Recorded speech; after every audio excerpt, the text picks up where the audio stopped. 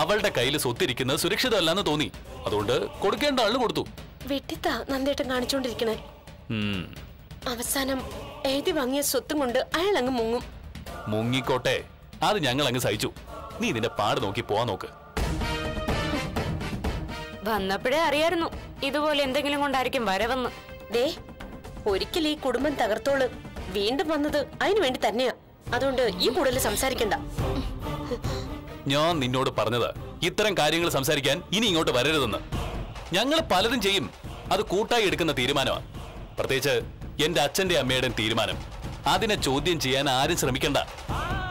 എല്ലാം കഴിയുമ്പോ ഏറ്റവും കൂടുതൽ കരയാൻ പോകുന്ന നന്ദേട്ടനും. കരഞ്ഞു കഴിഞ്ഞടി. കരയിച്ചു. ഹോസ്പിറ്റലിൽ കിടക്കുന്നവൾ. എന്നിട്ട് അവക്ക് വേണ്ടി വക്കാലത്ത് പറയാൻ വന്നിരിക്കുക ലച്ചുമോളെ നോക്കുന്നവർക്കാ സ്വത്ത് കൊടുക്കേണ്ടത്. രോഹിണിയുടെ പേരിൽ അതെല്ലാം കൂടി ഇരുന്നാലേ? ആ ജോസിനും അമ്മച്ചിക്കും തീരെഴുതി കൊടുക്കും. ഹും, ഈ അതൊക്കെ പറയും. എന്റെ മനസ്സിലിരിപ്പ് എന്താണെന്ന് ഞങ്ങൾക്കറിയാം. ഇതിന്റെ എല്ലാം അവസാനം നല്ലവരായ കുറെ ആൾക്കാർ എങ്ങനടിച്ച് കരയണത് എപ്പോഴേ കാണാം ഞങ്ങൾക്കൊക്കെ. എന്നാലും ഇത് വലിയ ചതിയായി പോയി നന്ദിട്ട. നാളെ ഈ നാട്ടിൽ നിന്ന് തന്നെ നേടിയ സ്വത്തൊക്കെ വിറ്റു പറക്കി പോകുന്ന ഒരുത്തനാ നന്ദേട്ടനും അച്ഛനും അമ്മ എല്ലാരും കൂടി എല്ലാം എഴുതി കൊടുത്തിരിക്കുന്നത് നോക്കിക്കോ അതെന്നെ സംഭവിക്കും. അവസാനം ലച്ചമോക്ക് ഒരു പിടി മണ്ണ് പോലും കിട്ടില്ല.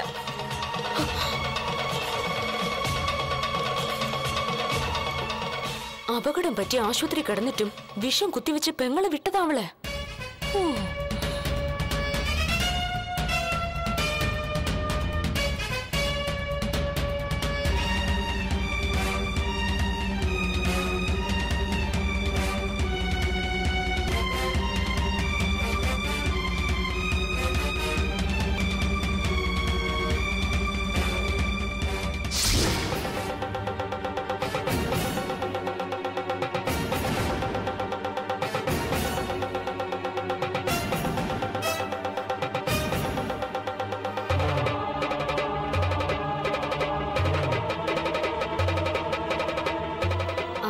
ശരത്തേട്ടാ.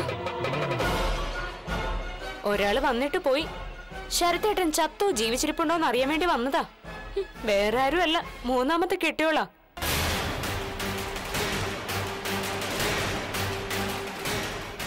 ഏതായാലും ശരത്തേന്റെ കാര്യമൊന്നും ഞങ്ങൾ പറഞ്ഞില്ല.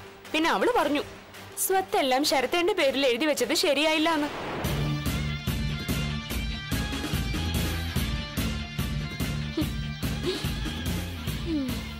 പിന്നെ അപകടം മുന്നിൽ കണ്ട് ശരത്തേട്ടൻ കളിച്ചതുകൊണ്ട് അവളുടെ വാക്കൊന്നും നന്ദേട്ടൻ കേൾക്കത്തില്ല. അതുകൊണ്ട് തന്നെ ആട്ടിയെ വിട്ടത്. എങ്കിലുവേ ഭയക്കണം ശരത്തേട്ട. അവളുമാരൊക്കെ ഒത്തുപിടിക്കുക കഥകൾ അറിയേണ്ടവരെയൊക്കെ അറിയിക്കാൻ വേണ്ടി. എനിക്കറിയാം. ഏതായാലും മരണക്കളി എല്ലാവരും കളിക്കുന്നേ. അതുകൊണ്ട് തിരിച്ച് ഞാനും ഇനി ആ രീതി സ്വീകരിക്കുന്ന നല്ലത്. കൊല്ലേണ്ടതിനെയൊക്കെ കൊല്ലണം. എത്രയും പെട്ടെന്ന് മരിക്കേണ്ടത് നിന്റെ ആങ്ങള തന്നെയാ. ശരത്തേട്ട എന്ത് വേണേലും ചെയ്തോ. ഞാൻ ഒന്നിനെതിര് പറയില്ല. സ്വന്തം പെങ്ങളെ പോലും മാനിക്കാത്തവനെ മരിക്കുന്നതിൽ തെറ്റൊന്നുമില്ല. നന്ദന് സംശയമൊന്നും തോന്നിയിട്ടില്ല എവിടന്ന് എവിടെന്ന്? അതുപോലല്ലേ ഓരോന്ന് നന്ദേട്ടന്റെ മനസ്സിൽ കയറ്റിയിരിക്കുന്നത് ഓടുന്ന നായ്ക്കേ ഒന്നല്ലല്ലോ. പത്ത് മുഴ മുമ്പല്ലേ എറിഞ്ഞിരിക്കുന്നത് അതിന്റെ ഫലം കാണാനും ഉണ്ട് നന്ദേട്ടന്റെ ദൃഷ്ടിയിൽ രഹിനിയും ഇപ്പൊ രോഹിണിയുടെ ഗണത്തിലാ. അതൊരു ചെറിയ കാര്യമല്ല. അങ്ങനെ പോട്ടെ കാര്യങ്ങൾ. ഏതായാലും സ്വത്തല്ല എന്റെ പേരിലായി കഴിഞ്ഞു. ഇനി ഏത് നിമിഷവും എനിക്കിവിടുന്ന് പോവാം. ദേ അങ്ങനെ പോകുന്നതിന് മുമ്പ് ഒരു കാര്യം. കിട്ടേണ്ടതൊക്കെ എനിക്ക് കിട്ടിയിരിക്കണം. എന്റെ വിഹിതം ഇങ്ങനെ തരണോന്ന്. നോക്കാം. ഇപ്പൊ നോക്കാന്നായോ ദേ ഞാനിവിടെ മറുകണ്ഠം ചാടിയല്ലേ? അവിടെ ഹ്, നോക്കാൻ പോലും.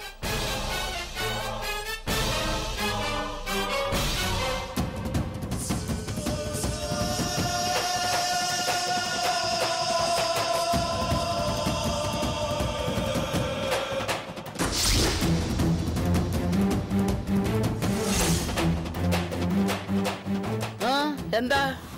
നരൻ അവൻ എനിക്ക് വിട്ടു കിട്ടണം. ഞാൻ അവനെ ഇവിടെ പിടിച്ച് അടച്ചു വെച്ചിട്ടൊന്നുമില്ല.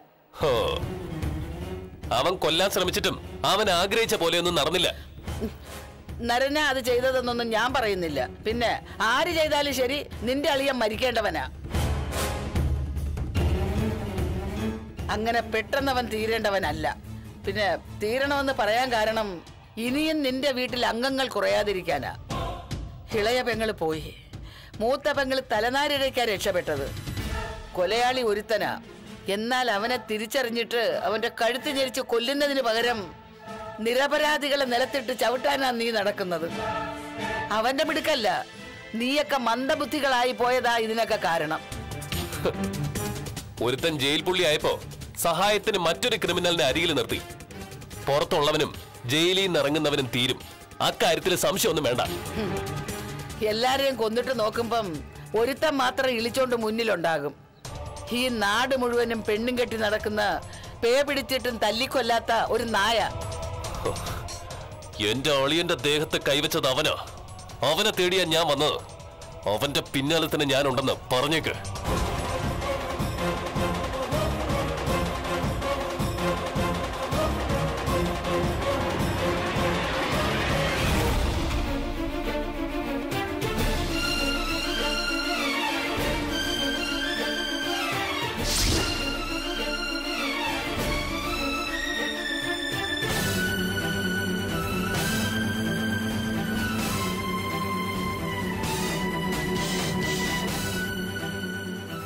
രഹന പരമാവധി ശ്രമിക്കുന്നുണ്ട്. കാര്യങ്ങൾ നന്ദനെ അറിയിക്കാൻ. ഇപ്പോഴും ടീച്ചറിന്റെ വീട്ടിലോട്ട് പോയിരിക്കുക. അതുകൊണ്ട് എന്തേലും പ്രയോജനം ഉണ്ടാവുമോ എന്ന് ചോദിച്ചാ നമുക്ക് എല്ലാ വഴിയിലൂടെയും ശ്രമിച്ചല്ലേ പറ്റൂ ടീച്ചറെ? നന്ദൻ സത്യങ്ങൾ തിരിച്ചറിയുമെന്ന് തോന്നിയ. നന്ദനെ ശരത്ത് കൊല്ലാൻ മടിക്കില്ല. അവന്റെ പിന്നിൽ ആൾക്കാരുണ്ട്. ആരെയും എന്തും ചെയ്യാൻ മടിയില്ലാത്തവര്.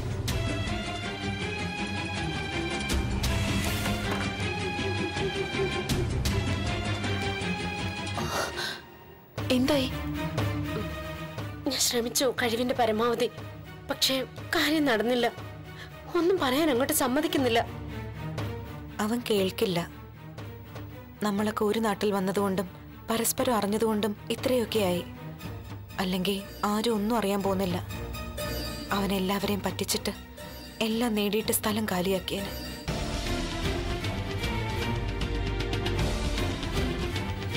പിന്നെ രഹന സൂക്ഷിക്കണം. നന്ദനെ സത്യങ്ങൾ അറിയിക്കാൻ ഏറ്റവും കൂടുതൽ സാധ്യതയുള്ളത് രഹനയാണെന്ന് അവൻ അറിയാം അതുകൊണ്ട് എനിക്കുണ്ടായതുപോലൊരു അപകടം മുന്നിൽ കാണണം. കൊല്ലാനേ അവൻ ശ്രമിക്കൂ. അതെപ്പോ എങ്ങനെയെന്ന് പറയാൻ പറ്റില്ല. കൊല്ലുന്നെ കൊല്ലട്ടെ. എന്നാലും ചെയ്യാനുള്ള ഞാൻ ചെയ്യും. നന്ദേട്ടനെ എങ്ങനെയല്ല അറിയിക്കും രോഹിണിയേച്ചി ഞാൻ?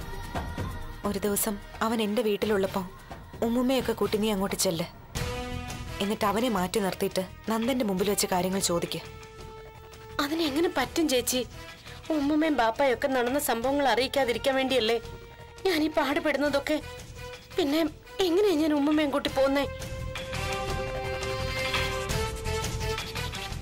ഒരു അവസരം ഒത്തുവരും. നന്ദന് സംശയം തോന്നുന്ന ഒരു അവസരം. അതോടെ കാര്യങ്ങൾക്കൊരു വ്യക്തത ഉണ്ടാവും. ഓള ഒന്നിനും സമ്മതിക്കാത്തത്. നന്ദേട്ടന്റെ ഭാര്യ. ശരത്തിന്റെ ഒപ്പം നിന്നിട്ട് അവൾ മറ്റുള്ളവരെ നന്ദേട്ടന്റെ ശത്രുവാക്ക ഇങ്ങനെ ഒരുത്തി എന്തിനാ ചേച്ചി? ചേച്ചി തന്നെ വീണ്ടും വീട്ടിൽ വിളിച്ച് കയറ്റിയത്. നന്ദേട്ടന് പറ്റിയ പെണ്ണല്ലോളെന്ന് പലതവണ അവൾ തെളിയിച്ചല്ലേ? എന്ത് ചെയ്യാനാ രഹന?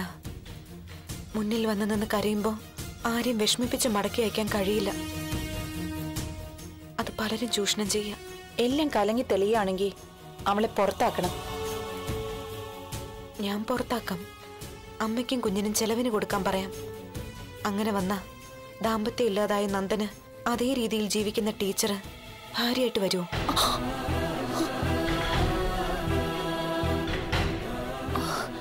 മുൻപ് നന്ദൻ ബന്ധം പിരിയാൻ പോയപ്പോഴും ഇങ്ങനൊരാശയം എന്റെ മനസ്സിൽ ഉദിച്ചതാ. അതൊക്കെ ആലോചിക്കേണ്ട വിഷയ ടീച്ചറെ. ആദ്യം ടീച്ചറും ജോസാറും തമ്മിലൊരു ധാരണയിലെത്ത്. എന്നിട്ട് എന്റെ കാര്യം തീരുമാനിക്കാം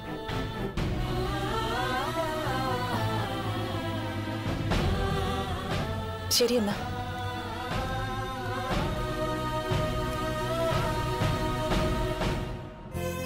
ഞങ്ങളെക്കാൾ ഏറെ ചെറുപ്പമാണ് രഹന. അതുകൊണ്ടിപ്പോ ലീന ടീച്ചറിനോട് പറഞ്ഞ പോലെ എന്നോടൊന്നും പറയണ്ട. എനിക്കിനിയും വിവാഹം വേണ്ട. എന്റെ വീട്ടിൽ തന്നെ ഒരു മൂലയിൽ ഒതുങ്ങി കഴിഞ്ഞാ മതി.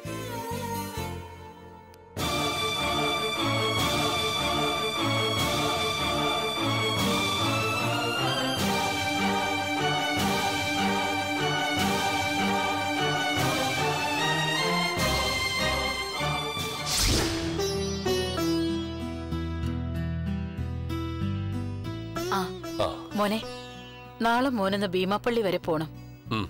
രോഹിണിക്ക് വേണ്ടി ഒരു നേർച്ച നടന്നിട്ടുണ്ട്. അത് നടത്തണം. അവക്ക് വേണ്ടി ഞാൻ പോകത്തില്ല. എന്താ നന്ദ ഇത്? ഈ അവസ്ഥയിലും അവളെ ഇങ്ങനെ വെറുക്കണോ? അപകടം ഉണ്ടായെന്ന് അറിഞ്ഞപ്പോ അവൾ മരിക്കണേന്നായിരുന്നു എന്റെ ചിന്ത എന്റെ പ്രാർത്ഥന. എന്നാ തലനാരിഴിക്ക് മരണം മാറി നിന്നു. എന്നിട്ടും അവക്ക് വല്ല മാറ്റമുണ്ടോ? പ്രമാണത്തിൽ വരെ ഒപ്പിടാൻ സമ്മതിച്ചില്ല. അവസാനം വേരലി പതിപ്പിക്കാൻ ഞാൻ പെട്ട പാടറിയാലോ? എത്രയൊക്കെയായാലും അവളെന്റെ മൂത്ത മോളല്ലേ മോനെ? എന്താ? അമ്മയും മോനോട് ഒരു തർക്കം. അല്ല ദോഷങ്ങൾ തീരാൻ അമ്പലങ്ങളിലും പള്ളികളിലും ഒക്കെ പോയിക്കൊണ്ടിരിക്കുക ഭീമാപ്പള്ളി വരെ പോകാനെന്ന് പറയായിരുന്നു നന്ദനോട്. ആ അങ്ങനെ പോകുന്നുണ്ടെങ്കിൽ രോഹിണി തിരിച്ചു വരാനും രോഹിണിയും ശരത്തും തമ്മിൽ ഒന്നിക്കാനും മോൻ ഭീമാപ്പള്ളിയിലെ കബറിന്റെ മുമ്പിൽ പോയി നിന്ന് ആത്മാർത്ഥമായി പ്രാർത്ഥിക്കണം. അത് വേണം മോനെ. ഹോസ്പിറ്റലിൽ നിന്ന് ഡിസ്ചാർജ് ആകുന്ന രോഹിണി ഇവിടേക്ക് തന്നെ വരണം. ദൈവങ്ങൾ വിചാരിച്ചാലും ഇനി അതിന് സാധിക്കുമെന്ന് തോന്നുന്നില്ല. സാധാരണ മനുഷ്യർക്ക് തിരിച്ചടി ഉണ്ടാവുമ്പോൾ അവർ മാറാൻ ശ്രമിക്കും. ഇവിടെ അമ്മയുടെ മോൾക്ക് അങ്ങനെ ഒരു മാറ്റം ഉണ്ടോ? അവക്ക് ചെയ്തത് തെറ്റാണെന്ന് തോന്നി ഇങ്ങോട്ട് വരാൻ തോന്നുന്നുണ്ടോ? ലച്ചുമോളെന്ന് പറഞ്ഞ ജീവനായിട്ട് കരുതിയിരുന്നവളാ. ആ കുഞ്ഞിനോട് പോലും ഇപ്പൊ അവൾ സ്നേഹം കാണിക്കുന്നില്ല. എന്നിട്ടാണോ അവൾ കുഞ്ഞിനെയും തേടി പലപ്പോഴും ഇവിടേക്ക് വന്നത്? നന്ദ നീ അമ്മ പറഞ്ഞത് കേട്ടാ മതി. കേൾക്കാം. നാളെ ഭീമാപള്ളിയിലും പോവാം. പക്ഷെ ഫലം ഉണ്ടാവും എനിക്ക് തോന്നുന്നില്ല.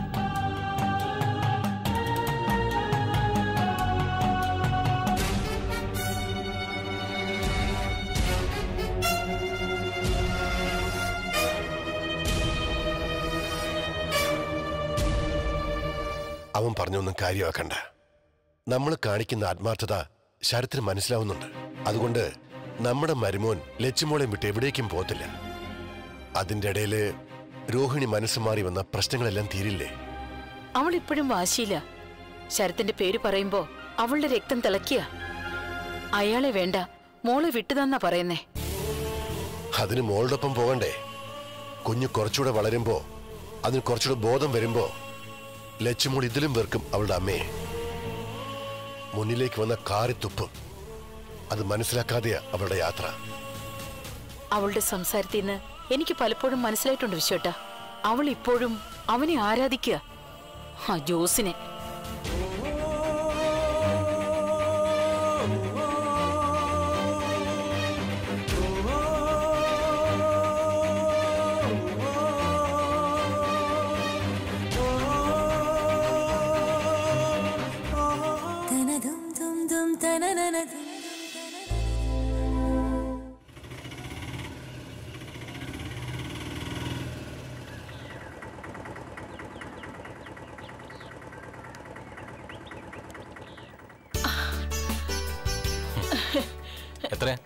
മമ്മടെ വന്നടാ.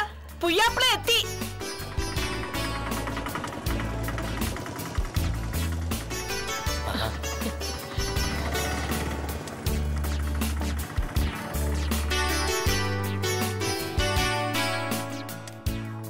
ഏടായിരുന്നു മോനെ ഇജ്ജ് ഇതുവരെ ഒന്നും പറയണ്ട ഉമ്മമ്മ. ശത്രുക്കൾ ഒരുപാടായിരുന്നല്ലോ. അവരിൽ ആരോ ഇരുട്ടത്ത് തല്ലി. പുറമേ പരിക്കൊന്നും ഇല്ലെന്നേ ഉള്ളൂ. മൊത്തം പഞ്ചറായി പോയി നോവിക്കാൻ വേണ്ടി ചെയ്തതൊന്നുമല്ല കൊല്ലാൻ വേണ്ടി തന്നെ ചെയ്തതാ. ഏതായാലും മരിച്ച പരുവത്തിലാക്കി റെയിൽവേ ട്രാക്കിൽ കൊണ്ടിടുമായിരുന്നു ഭാഗ്യത്തിന് അന്ന് ട്രെയിൻ പാളം തെറ്റിയതുകൊണ്ട് ഇപ്പൊ കാണാൻ പറ്റി. എന്റെ പടച്ചോനെ. തല്ലിയോന്റെ മുഖം പുയ്യാപ്പിള കണ്ടില്ലേ? ആ. ഇല്ല. ജയിലിൽ കിടക്കുന്ന ജോസ് എന്ന് പറയുന്നവന് അന്നോട് പെരുത്ത ശത്രുത ഉണ്ടായിരുന്നല്ല. പരോളിലോ മറ്റോ ഇറങ്ങിയിട്ട് ഓ ചെയ്യിച്ചതായിരിക്കോ എന്തോ? അറിയില്ല ഉമ്മ രഹനയ്ക്ക് വലിയ വിഷമായി കാണുമല്ലേ?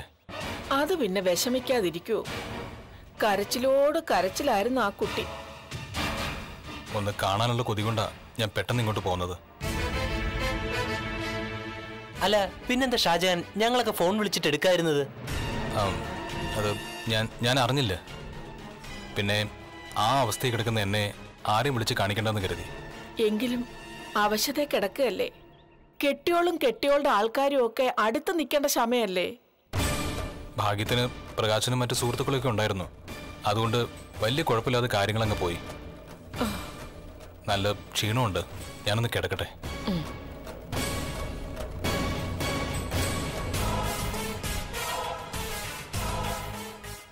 ഇടങ്ങേറായല്ലോ മമ്മരെ ഞമ്മക്ക് രണ്ടെണ്ണം കിട്ടിയാലും കുഴപ്പമില്ല. കുട്ടിയൊക്കെ കിട്ടിയെന്ന് അറിയുമ്പോ അത് സഹിക്കാൻ പറ്റൂല.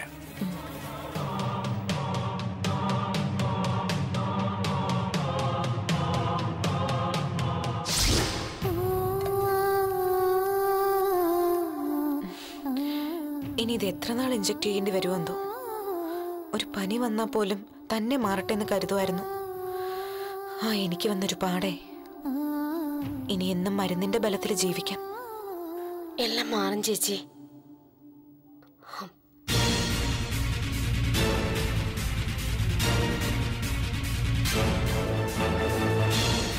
ഹ്. ഇവൾക്ക് കൂട്ടിരിക്കേണ്ടത് നീ തന്നെ ഞാൻ കൂട്ടിരിക്കുന്നതിൽ തെറ്റൊന്നുമില്ല. പക്ഷേ എന്നെക്കാൾ ഇവിടെ നിൽക്കേണ്ട ആൾ നന്ദേട്ടൻ തന്നെയായിരുന്നു. ഇപ്പോഴിതൊരു നഷ്ടമായിട്ട് തോന്നത്തില്ല. എന്നാ കുറെ കഴിയുമ്പോ ഇതൊക്കെ എന്തിനായിരുന്നു എന്ന് തോന്നും. നന്ദേട്ടൻ നന്നായിട്ട് വേദനിക്കുകയും ചെയ്യും. നിർത്തടി. പിന്നെ എനിക്ക് വേദനിക്കും. ഞാനേ നാളെ ഭീമാവള്ളിയിലേക്ക് പോവാ ഇവൾക്ക് വേണ്ടി. അമ്മ ഒരു കാര്യം നിർബന്ധിച്ച് പറഞ്ഞ അതെനിക്ക് ചെയ്യാതിരിക്കാൻ പറ്റത്തില്ല. നീ എനിക്ക് വേണ്ടിയാണ് ഭീമാപ്പള്ളി പോകുന്നതെങ്കിൽ എന്റെ മരണം എത്രയും പെട്ടെന്ന് നടക്കണേ എന്ന് പ്രാർത്ഥിക്കുക അങ്ങനെ ഒരു നല്ല പ്രാർത്ഥന ഉണ്ട് അപകടം ഉണ്ടായി കഴിഞ്ഞപ്പോ ഞാൻ സകല ദൈവങ്ങളോടും മരിക്കണേന്ന് പ്രാർത്ഥിച്ചതുവാ. എന്നാ തലനാരിഴയ്ക്ക് നീ രക്ഷപ്പെട്ടു. അതുകൊണ്ടാ ഞാൻ പറഞ്ഞത്.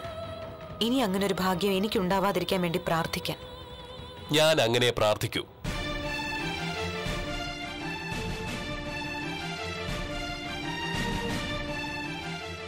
എന്നാ അവിടെ എത്തുമ്പോ നന്ദേട്ടന് അറിയാത്ത ചിലത് അറിയാൻ കഴിയും.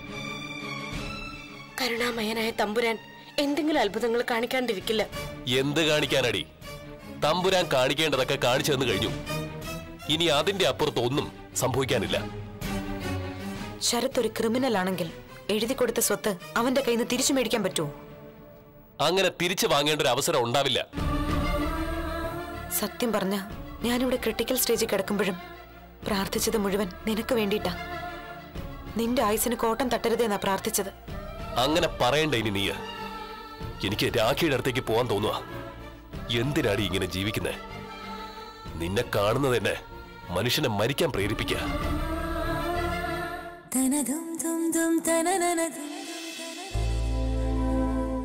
എന്തിനാടി ഇങ്ങനെ ജീവിക്കുന്നേ? നിന്നെ കാണുന്നത് തന്നെ മനുഷ്യനെ മരിക്കാൻ പ്രേരിപ്പിക്കുക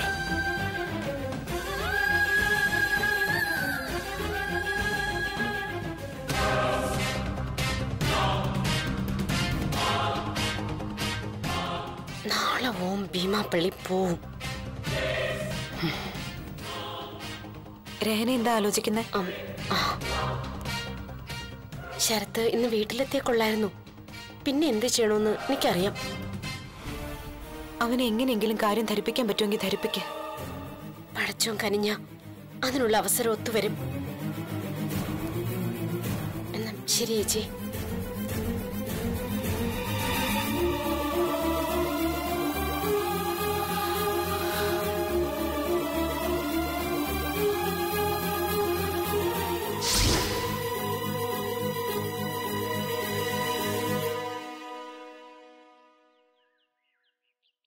നേരത്തെ മുതൽ ഞാൻ പറഞ്ഞിട്ടില്ലേ ബാപ്പ?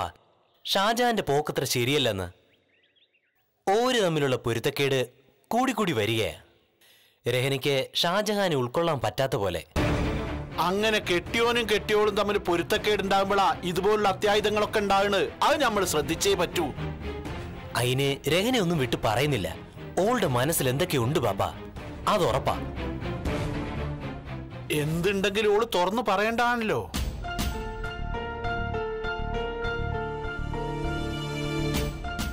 ഇതിപ്പോ ഇഷ്ടപ്പെട്ട് കല്യാണം കഴിച്ചതാണല്ലോ. അതുകൊണ്ട് തുറന്നു പറയുന്നുമില്ല. ആ. ബാപ്പ ദേ വരുന്നുണ്ട്. എവിടെയൊക്കെ ചുറ്റിത്തിരിഞ്ഞിട്ട്?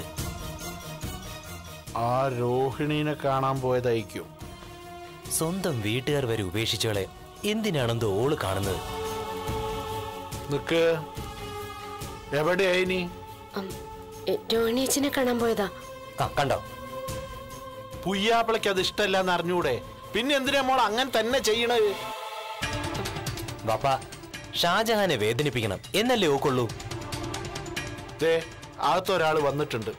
ആരാ? ഹ, പോയി നോക്ക് അപ്പോഴറിയാലോ അകത്തിരിക്കുന്ന ആളെ കാണുമ്പോ ഓക്ക് സന്തോഷം ഉണ്ടാണോന്നില്ല അല്ല ആരാ വന്നെന്ന് പറഞ്ഞൂടെ? പോയി നോക്കും പറയാലോ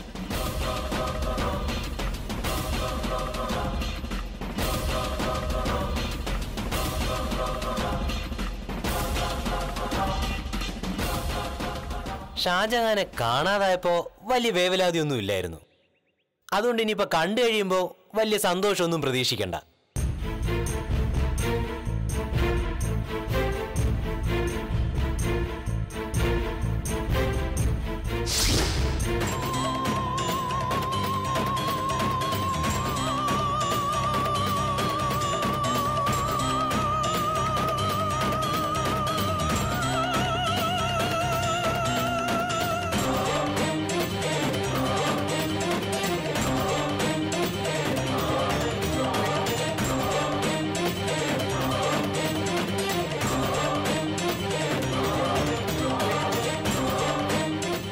അവൻ എന്തെങ്കിലും തരികട കാണിക്കാൻ പരിപാടി ഉണ്ടെങ്കിൽ അതിന് മുമ്പേ ഞാൻ അറിയുമേ അല്ല ശരത്തേട്ടൻ എന്താ ഈ വേഷത്തിൽ?